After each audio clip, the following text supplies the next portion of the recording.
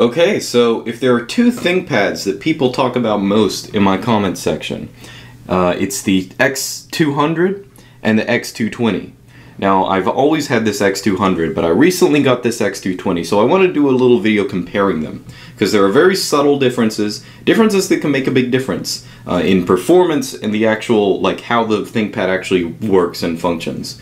Okay, so let's put it this way. Now, uh, these computers are at the cusp of ThinkPad goodness. Now, as we all know, um, it's better to have modern machines. I mean, they have you know more recent hardware and stuff like that. But the thing with ThinkPads is that ThinkPad designs have been getting worse. That is, I mean, they're think they're still good. Modern ThinkPads are still decent computers, um, but they're not. They don't have the same build quality that they used to. They don't have the same uh, keyboards and stuff like that.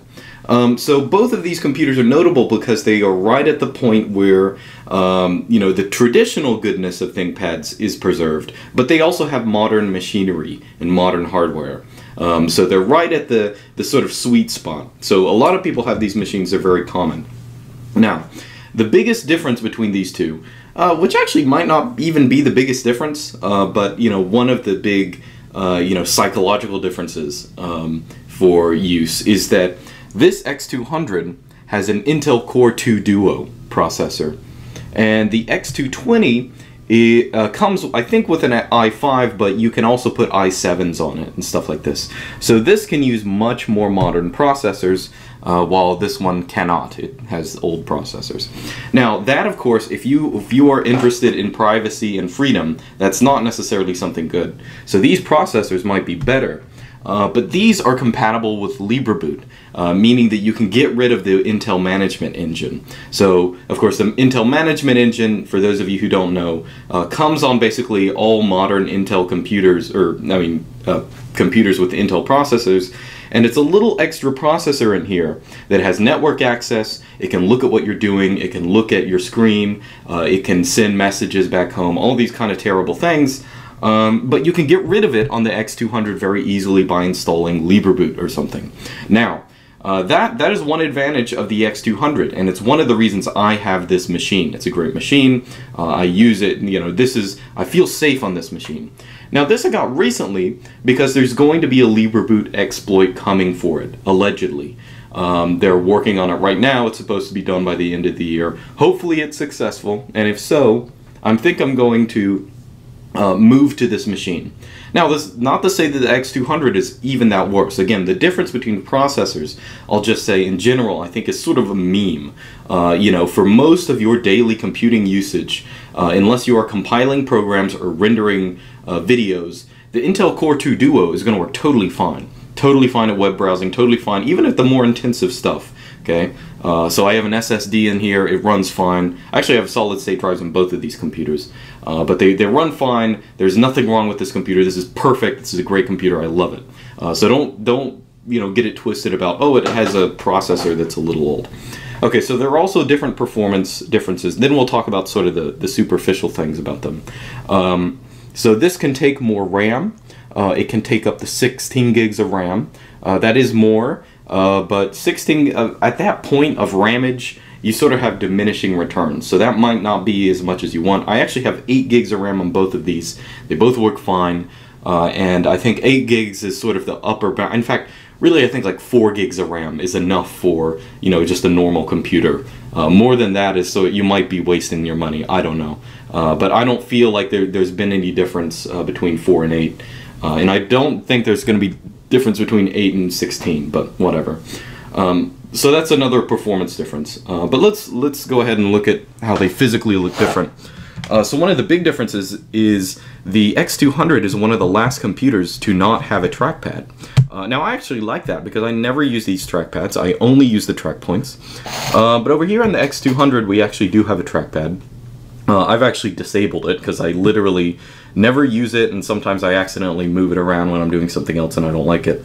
Uh, but if you like it, it is here. It doesn't take up any more room. You can actually compare the sizes. Uh, the keyboards are of equal size. Uh, the machines are about the same size. Uh, so this is doesn't take up any, any extra room, so if you want to have it, it's no big problem. Um, you'll notice there are some superficial differences. So the buttons here, Uh, you know, these are the old ThinkPad buttons. Uh, this has the more modern ones. It doesn't make any difference. Although this one also does have a microphone mute uh, button, which might be, you know, it's, I guess, nice to have. Uh, otherwise, the keyboards are pretty identical. You know, they have the same function keys. They have, you know, pretty much all the same stuff. This one has a slightly larger escape button. You know, that's just, you know, because or something like that. Um, but Generally, the keyboards are very identical. Uh, both of them, of course, are you know the classic ThinkPad uh, keyboards that everyone knows and loves. This is why people love these machines because you can type on these all day and your fingers will just not get tired. They're not like these chiclet keyboards, which are literally just like you hitting wood all day. Um, so these are very nice. They're very tactile, um, so you can get a lot of work done on them. Um, so there are other little differences. Uh, let me. Uh, so for example um, you know, this uh, monitor is actually a slightly bigger resolution. It's actually a weird resolution. It's something like uh, 1366 by 7 something or other. A really weird, but it is it is bigger than this one, uh, slightly. You might not even be able to see the difference here, uh, but it is slightly bigger. Um, now both can take webcams. I don't know if you can see it. Oh yeah. So both have a webcam slot. I don't have a webcam on this one. I do have one on that one. I installed it in one of my videos a couple times ago. Um, so that is a difference. And also the lids are a little different. So in this one, uh, you really just have a lid that goes down and sort of keeps itself down with, uh, I'm not exactly sure the mechanism, but importantly there's no latch on this. You just sort of pull it up and that's it. Ugh, it's sort of hard to do with one hand anyway. So it is stable. If it is, if it's difficult to do with one hand, it's got to be a stable lid.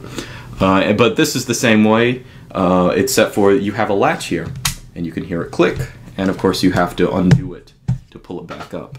Uh, actually, less resistance on this, but that's why I have the latch.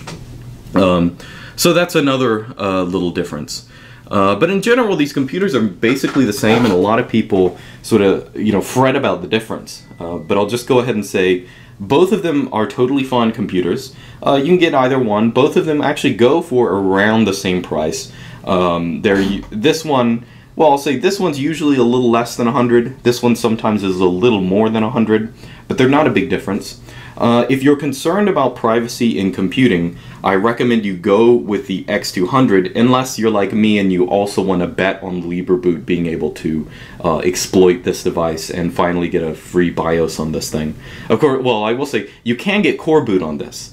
Uh, you can get coreboot and you can clean parts of the, uh, the management engine, but not all of it. I'll just say that. So you can partially get rid of some of the ma Intel management engine, so you have less of this, you know, basically spyware on your computer. Um, but it, you know, not totally. And if LibreBoot is successful, I will say, uh, if, you know, in LibreBooting this device, I will say this will be the preferred computer.